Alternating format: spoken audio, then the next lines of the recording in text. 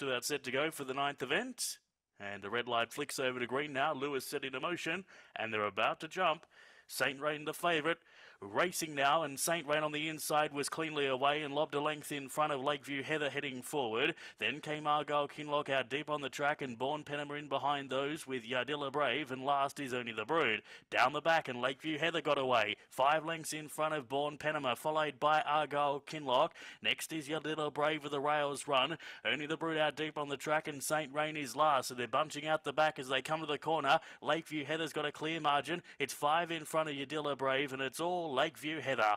Lakeview Heather by five lengths. Yadilla Brave was prominent for second. Ernie the Brute put in a big dive there for third, followed by Saint Rain and Argyle Kinlock in the back half of the field with Born Penema, and the time was 29 and 90. Number four, Lakeview Heather, the winner.